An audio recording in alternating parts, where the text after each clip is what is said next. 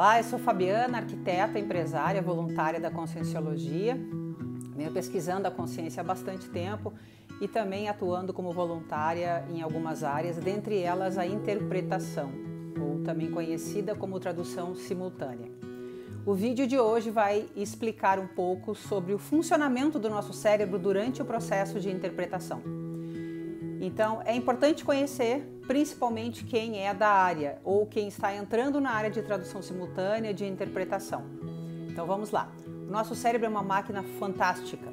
Existem várias áreas que são aquecidas e ativadas durante o processo da interpretação.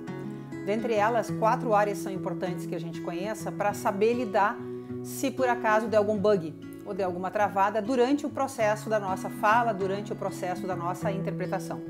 Então vamos lá. Primeira área é o córtex pré-frontal, se localiza aqui. É bastante ativado. Ele é ativado associando-se aos demais lobos que a gente vai falar agora em seguida, que são os lobos occipitais e os lobos temporais. Do lado esquerdo do nosso cérebro, nós temos duas áreas importantes, Broca e Wernicke, que são as áreas responsáveis pela compreensão, interpretação e análise do conhecimento que a gente está recebendo.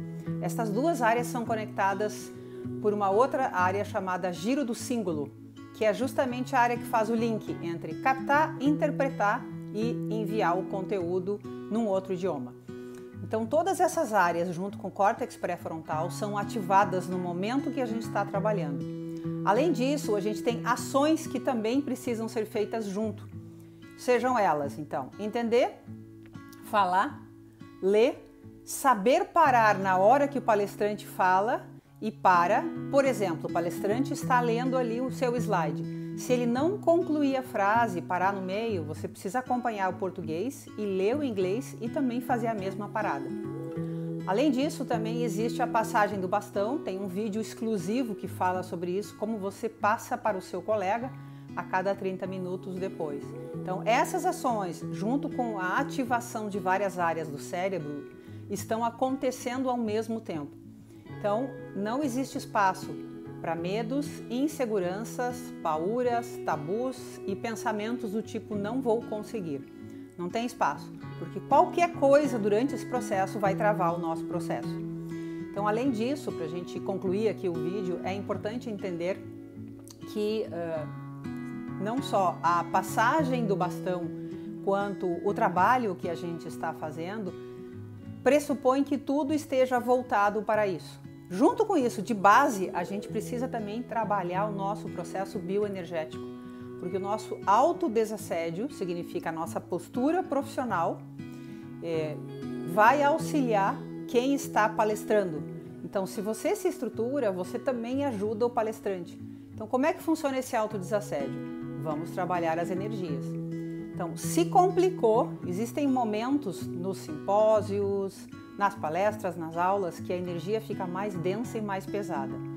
Você vai continuar fazendo todas essas ações, mesmo com a energia mais densa, e vai trabalhando as energias. Então você vai lendo, vai escutando, vai traduzindo, mudando de idioma, lendo o slide, mudando o seu slide, acompanhando nas duas telas, acompanhando também o WhatsApp do grupo, porque pode ser que aconteça alguma coisa. E junto com isso você vai também trabalhando as energias. Percebeu que ficou pesado? Trabalhe as energias e não desiste. Se por acaso você tiver uma crise de tosse e travar a voz, você vai mandar um SOS para o seu colega. Aí o colega, quando ele perceber essa sigla SOS, você vai escrever para ele SOS um minuto. Aí o colega vai entrar em seguida que você der o gol, tá? Então são várias ações que estão ativadas no nosso cérebro. Então, uma hora antes de iniciar o processo de interpretação, a energia precisa ser assim: foco total. Não existe espaço para distração. É isso, gente. Espero que esse vídeo também ajude. Teremos mais vídeos na sequência. Até breve.